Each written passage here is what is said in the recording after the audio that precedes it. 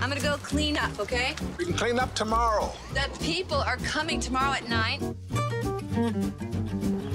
This is a young people's building, you know? The stairs. Come on.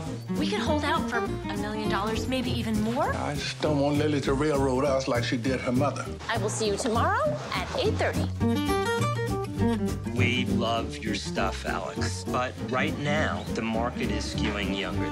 Just want us to go away. You may have a bidding war on your hands. I have had couples practically offer me their firstborn. This is getting confusing. Relax. This is what I do. I've read about open houses. People steal things. I will nail the furniture to the floor.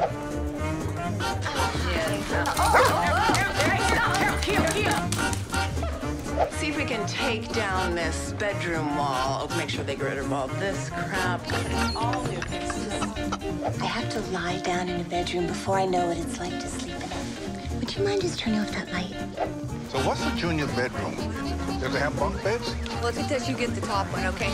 Oh, this is so much nicer. Oh. Yes. Let's bid on it. We haven't sold our own place No, yet. but we will.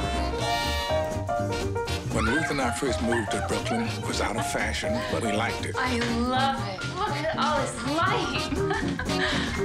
Because maybe we want to open the bidding back up. Put it back on the market. We don't want your apartment. I hope you get a billion dollars for it.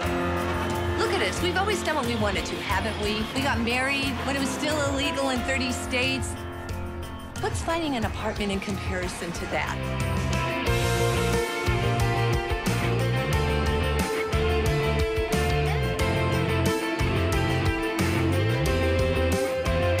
What are we chasing? Haven't we built a good life? You lost this place? I've got plenty of others. You can't back out now. We can do whatever the hell we want.